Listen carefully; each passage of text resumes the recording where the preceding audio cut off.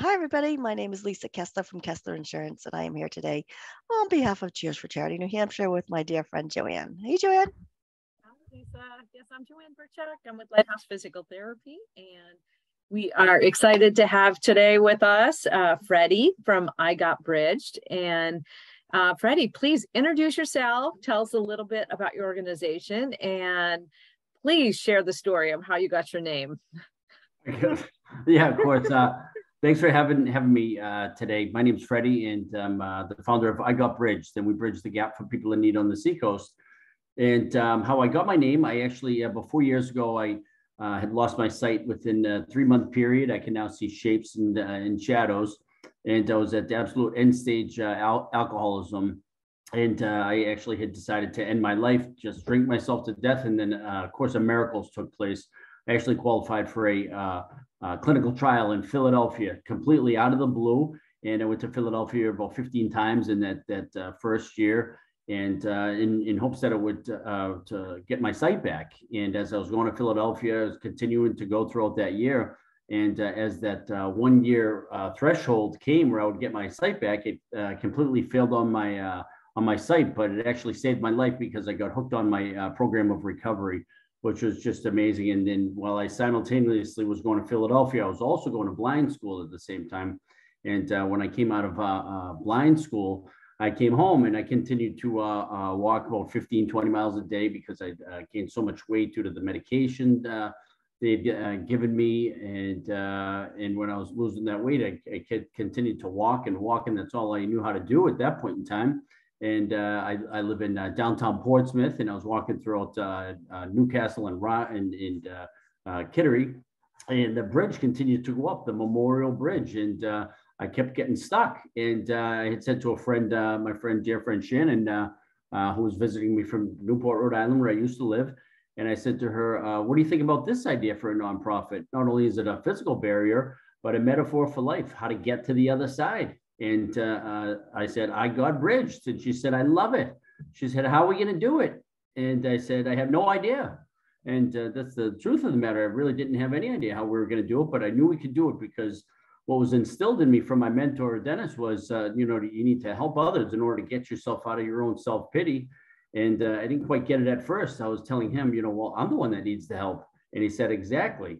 So by the uh, uh, more people that I was I was helping, I was continuing to get myself out of my own self pity, and uh, and it was working. And right after I presented the idea to Shannon, I actually uh, went to the First United Methodist Church, which is near and dear to us, and they uh, actually had made me uh, 5,000 copies in order to shovel for the elderly and people in need. Because with my sight, I knew I could shovel. Like I knew I could find the door and the mailbox, and I knew I could shovel, get the driveway and the in the steps and uh, so I passed out as many flyers as I could, and then the calls started to roll in. And uh, it was just as basic as this: is when I started shoveling with my uh, my friend Jim. We were shoveling for for an elderly lady, and all of a sudden it helped uh, myself and Jim way more than it helped the lady we were shoveling for. And that's the exact premise of uh, how I got Bridge uh, got started and how it continues to move forward today. And um, it's just amazing that uh, how far it's come right now. It's uh, two years this past September that it was just a thought on the bridge, and it's just it's no pun intended. It has snowballed from there, and uh, we shovel about uh, right now. We have 32 people that we shovel for in the uh, in the winter, and it has just progressed from there. Uh, moving into the first bridgeathon that we had. Um, we've had our second one this past September, which we raised over twenty thousand dollars with the raffle and the bridgeathon that we had. But with that uh, first one leading uh, up to that, we had thoughts on we need to do something with the money that we were raising. And then it uh, hit me while I was walking on the bridge because it was so difficult to get to the food pantry and transportation is a real issue on the seacoast. So I said we can buy a 15 passenger van, and then we are like, yeah, we can call the Bridge Mobile, and that's how that was born. And that's really just been a godsend. And uh, we have, uh, uh, excuse me, 16 uh, insured uh, drivers for the Bridge Mobile. We have well over 100 volunteers. And uh, we pick up all the elderly and people in need at public housing all around Portsmouth and the Seacoast. And we take them over to gather food pantry every Friday. And then after that, we take them over to the Walmart to get them any items they may have missed at the food pantry And um, like I uh, mentioned, we just I just got back now because uh, we're putting flyers in all the public housing, and we're gonna send text blasts and voicemail blasts over the uh, public housing in order to take people over to Common Table at St. John's uh, every Thursday. It's a uh, not only a free lunch every Thursday we're going to pick them up for, but uh, they wait on you as well. So it really creates uh, some some uh, uh, great camaraderie and fellowship amongst the community. And we also take people to doctor's appointments and dialysis appointments. And matter of fact, one particular lady is really near and dear to us as well. She lives in Wells. I got a call from York Hospital. We do a lot of work with York Hospital, and we get calls from the social workers quite a bit and uh, they needed help from, but the lady needed uh, uh, to get to from Wells over to Biddeford for her dialysis appointments. And it was kind of out of the realm of, you know, where we work geographically as far as uh, all of our volunteers uh, going up toward Biddeford at this time. And it was six months ago. And uh, she was just ready to give up on life. She just said, I'm not going to do it anymore. It's getting too difficult. Her rides just vanished.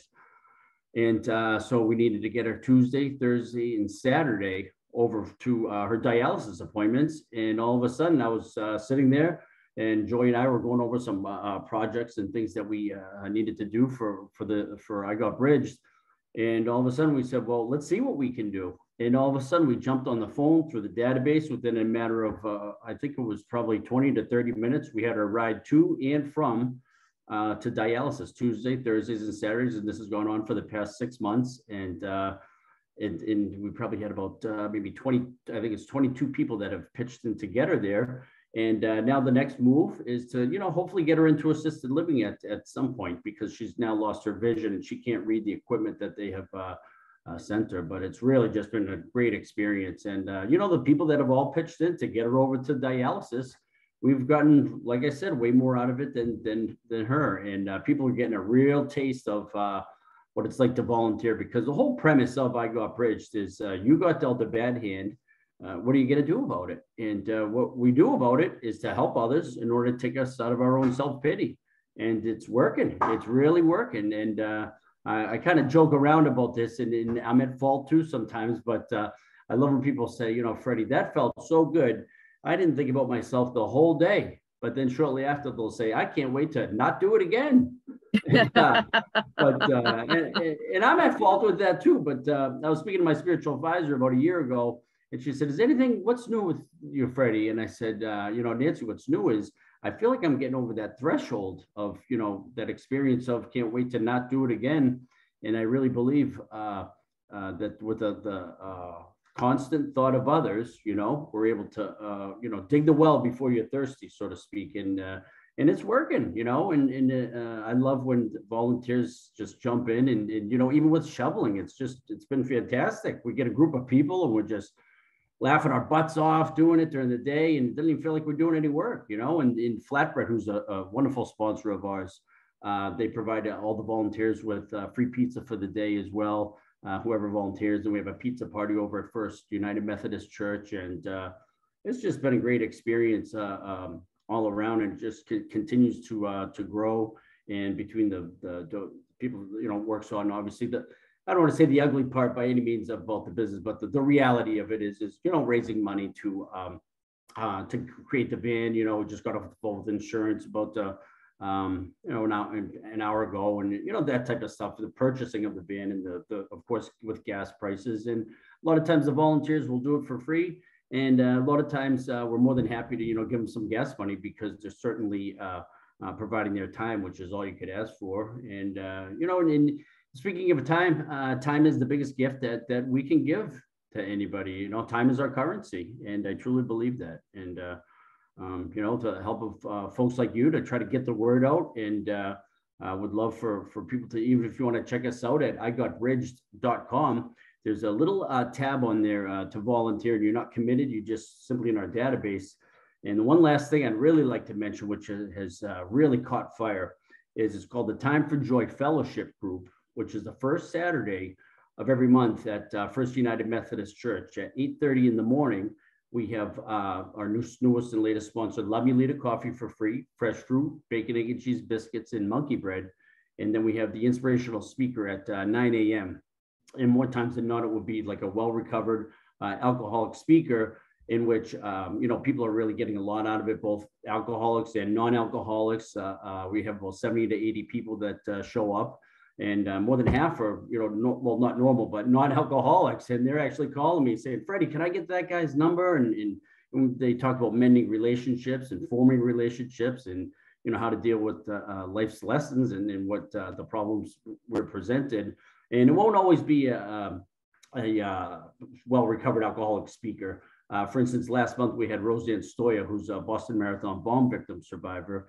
And, uh, you know, she's not an alcoholic, but she certainly has a, a story of recovery. She was uh, in, due to, uh, you know, the, she has only one leg. She's an amputee, and she showed us how she got to the other side. And uh, January 7th, we're really excited about that. Uh, we got locked down the date just January 7th with, I believe his name is Chief Justice Judge Jonathan uh, Broderick. And uh, oh, he's he, awesome. Yeah, yeah. And, and I heard and we, right when I watched his um, watched it on YouTube, and it was just spectacular. So he's non-alcoholic, but uh, he was and he's open about it that his son nearly, uh, you know, beat him to death with that electric guitar, and uh, he just speaks a tremendous story about uh, uh, mental illness.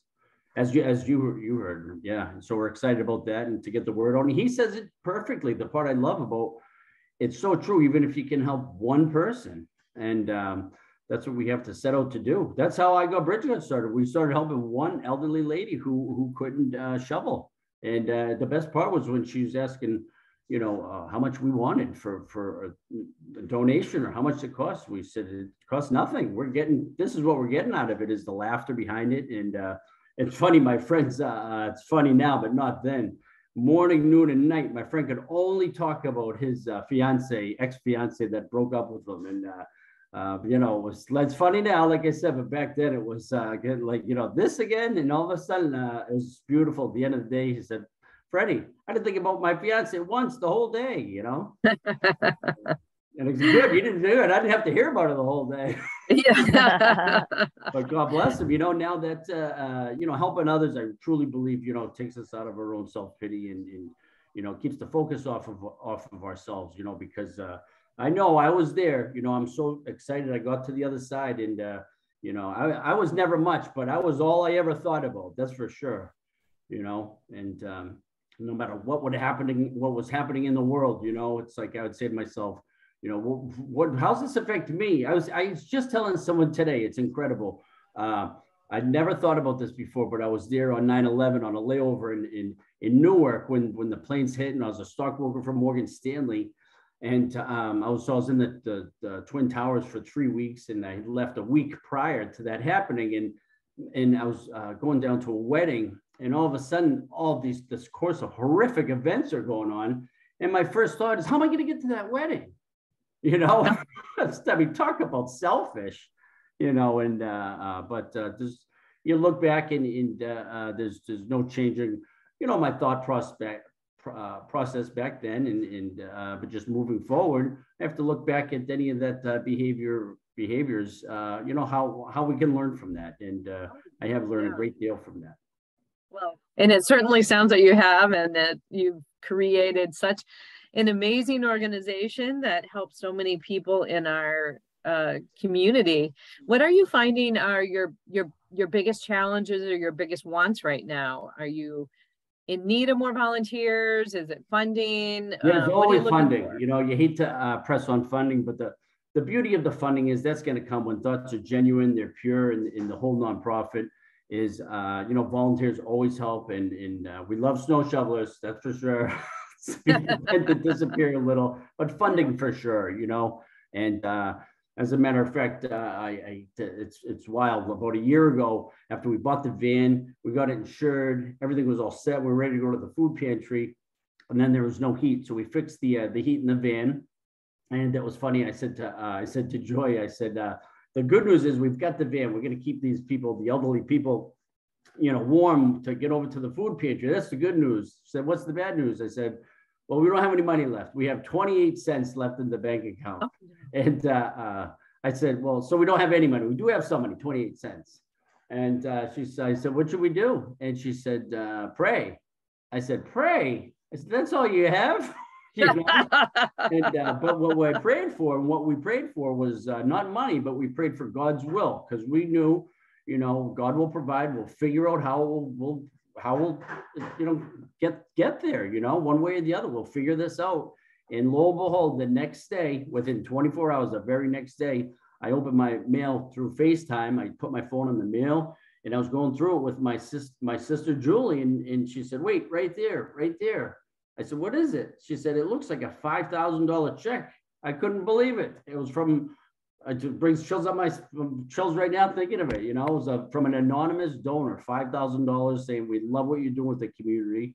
Keep up the good work." And uh, it's just been incredible. And uh, um, it's just we've never looked back since. Now, uh, from that point forward, we've never uh, uh, money has never been an issue. But like I said, we always need funding. But the bank account is is is you know healthy because we're just we're cognizant in in, in regards to maintaining uh, donations and, and, sponsors. And uh, but the core group is the core piece is making sure we're helping others.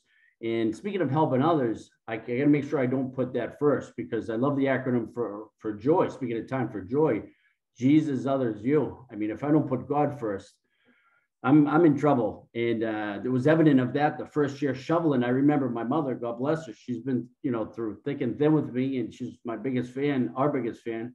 And I remember her calling, and I'd be shoveling. I'm like, you know, what are you doing? I'd say, oh, I'm shoveling. I'm helping others. uh, you know, so I got to make sure uh, to put that in order. That's for sure.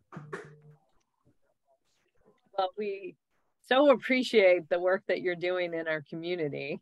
Um, Lisa, what did yeah. you want For for me, Freddy, too, this listening to the story about how you've come in and just in in that grassroots effort, right? Finding that one person and helping, and then helping the next, and then helping the next, and just listening to where where you hear need, right? What the need is brought to you, and then you find a way to to to make someone else's life better. It's inspiring.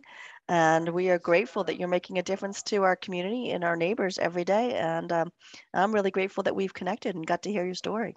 Oh no, thank you, thank you for the for the uh, for the invite. It really uh, uh, means the world to us, and hopefully people can check out the Joy Group uh, the first Saturday of uh, of every month. And uh, we're just we're getting so much out of it. When the, you know being a joyful giver is key though, and I let everybody know. And you know when the, when we have our board meetings tonight, actually the last Wednesday of every month, and the main thing we want to keep in front is, you know, having fun doing it. That's the whole key is is you know having fun doing it. We want to make sure we're being a joyful giver. And someone actually asked me this, said, can you think of any problems you have? And I really had to think, and the only problem I have is going to bed because I, am so excited. I don't even want the day to end. I just can't wait to wake up in the morning and uh, and just to be the ability to try to convey the message of, of helping others in the right manner as far as I didn't find the this magic sauce, but I totally just took it and, and ran with it because it uh, it works for me. It's uh, just keeping it simple. I find is is uh, best. You know, keeping it simple. Keep the thoughts off myself.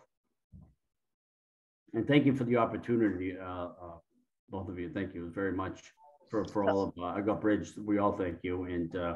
Um, thank you. It's Don Mallett. He's been tremendous, and, and Joy, and, and Jenny, and Shelly. As they've just been they're amazing board members, and they're really, really hardworking board members. And I think that's really why uh, uh, it has really been thriving. My family got us uh, started, that's for sure. But uh, that's been key. The, the board is really, really hands on and, and really working because a lot of people said to me, "Good luck with the board," you know and and uh, I see what people mean by that as far as uh, just keeping my you know ears open to this certain nonprofits that if some people you know may not be pitching in, but that's just not the case here. That's where the board is very cohesive and they're all hands on. And, and Shelly's a fantastic baker. If you have a chance to go to the Joy Group. That's awesome. Well, it sounds like you've got a great team. You're doing really good work. Um, the community is better off for all of it. So um, we thank you for that, and we thank you for your time. It's thank been you. a pleasure. Thank you. It's been a pleasure.